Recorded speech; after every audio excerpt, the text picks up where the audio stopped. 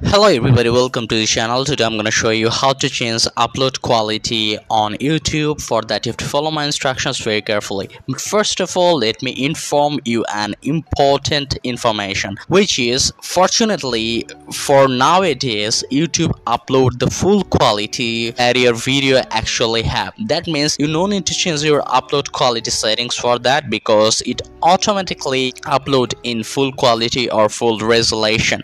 But still if you want to change it manually then you have to check for some of the functions. It may be available for some of the phone and it may not be. So let's see if i have this or not so at first you have to go to the youtube application. Then from the top right corner click on the icon button.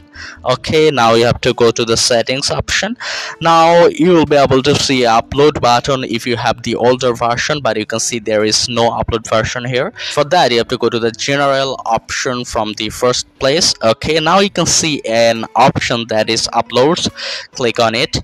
But you can see that it's only showing if it will be uploaded only when on Wi-Fi or on any network. So there is no option for selecting the upload quality. So you can see that for the updated version the option is not available. It's only available for the older version. You can also delete all your updates from your youtube application. Then you can check it for it. But there is no need to worry as we are getting the highest quality while uploading automatically. So if this tutorial or information helped you like this video and don't forget to subscribe to my channel. See you in the next one